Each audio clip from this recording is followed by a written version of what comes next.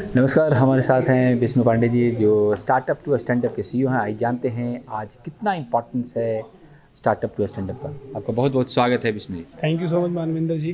कितना इम्पोर्टेंस है startup to stand up का? देखिए स्टार्टअप टू स्टैंड अप हम लोग तो स्टार्टअप को लेके वर्किंग करते ही हैं। किसी जब एक एंटरप्रेन्योर या कोई यंग माइंडेड जो होता है वो अगर कंफ्यूज है कि उसको क्या स्कोप प्लान करना है क्या आइडिया प्लान करना है क्या ग्रोथ प्लान करनी है है ना?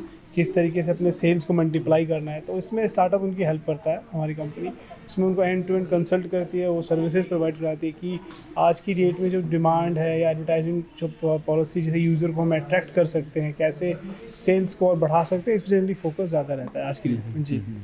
आप खासतौर से आयुष के कॉन्फ्रेंस में हैं अ, तो क्या आपको लगता है कि जिस प्रकार से कहा जा रहा है कि इंटीग्रेशन की ज़रूरत है तीनों के इंटीग्रेशन से फ़ायदा होने वाला है? सर बिल्कुल फ़ायदा होता है। देखिए क्या होता है अभी मैं जब अंदर था तो मैंने डॉक्टर है मनीष आचार्य जी उन्होंने बोला कि एक कोई भी मेडिसिन होती है, हम रेगुलर लेते रहते हैं। जैसे डॉक्टर ने बोला कि आप सैद्योतिक ऑयल गोली दे दीजिए पेशेंट को। तब सैद्योतिक खाएगा तो उसको कोई एंटी उसको साइड इफ़ेक्ट भी होंगे तो साइड इफ़ेक्ट की भी गोली है। तो उस साइड में फिर गोली खाए तो ऐसा प्रोसेस में फंसता रहेगा। पर आयुर्वेद ऐसा चीज़ है जिसका कोई साइड इफ़ेक्ट नहीं है।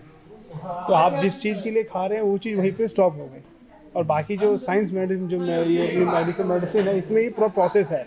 एक खाएँगे, दूसरा इफ़ेक्ट होगा, फिर उसकी खाएँगे तो उसका कुछ और इफ़ेक्ट आ जाएगा। तो उस प्रोसेस को ही फिनिश करता है। ये एक बड़ा अच्छा एक नॉलेजेबल मेरा ये सेशन रहा आज की डेट में। जी जी। यहाँ पर दो दिनों का सेशन चला है। कई डॉक्टर्स आए हैं। इसमें खास तौर से आयुर्वेद के भी डॉक्टर हैं। काफ़ी लोग आयुर्वेद योगा से थे। लेकिन इसके साथ ही खास तौर पर वो एलोपैथ के भी डॉक्टर थे। एलोपैथ वाले भी नतमस्तक हुए हैं। बिल्कुल जो है वो इवन आप अभी जब बाइट चल रही थी जो वीडियो डिस्प्ले जो अ, हमारे क्लिंटन जी थे जो यूएस प्रेसिडेंट थे उनका भी बाइट उन्होंने भी उसको किया हुआ है। बिल्कुल। है कि नहीं? और दूसरा आप सोचिए कि मेडिकल साइंस कहता है कि हम हमारे ऑर्गन अपने आप को खुद इम्प्रूव करते हैं कहता है।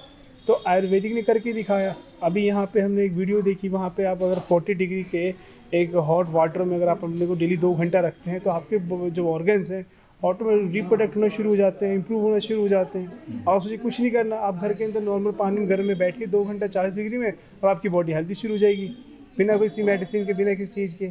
और आप ऑटोमेटिकली जो डायग्नोज भी हो रहे हैं, ठीक भी हो रहे हैं तो ये कितनी अच्छी, कितनी बेहतरीन चीज़ है ये आयुर्वेदिक जो हम खोते जा रहे हैं। तो इसको लाना चाहिए धीरे धीरे इम्प्लीमेंट करना चाहिए, क्योंकि उस प्रोसेस को मेडिसिन का जो प्रोसेस है उसको ब्रेक कर देता है। आयुष्मान भारत न्यास से आप शुरू से जुड़े हुए हैं। क्या आपको लगता है कि जिस प्रकार से तीसरा कॉन्फ्रेंस है ये कितना कुछ इम्पोर्टेंस होगा कितना कुछ तेज़ी से बढ़ रहा है?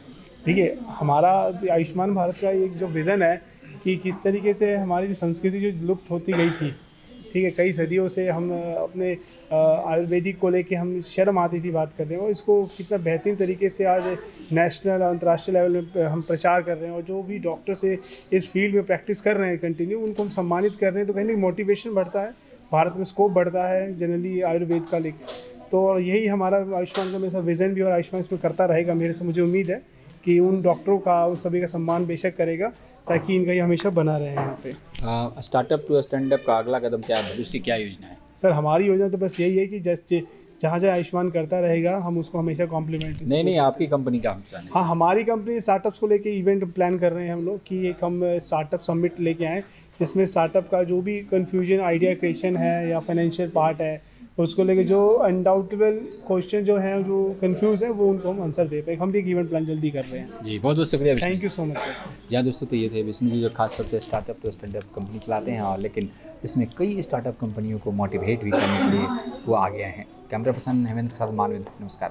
देश विदेश की ताज़ा तरीन खबरों से अपडेट रहने के लिए आप हमारे चैनल को ज़रूर सब्सक्राइब करें और साथ ही बेल आइकन को भी ज़रूर दबाएँ ताकि सभी खबरों से आप और आपके जानने वाले रह सके अपडेट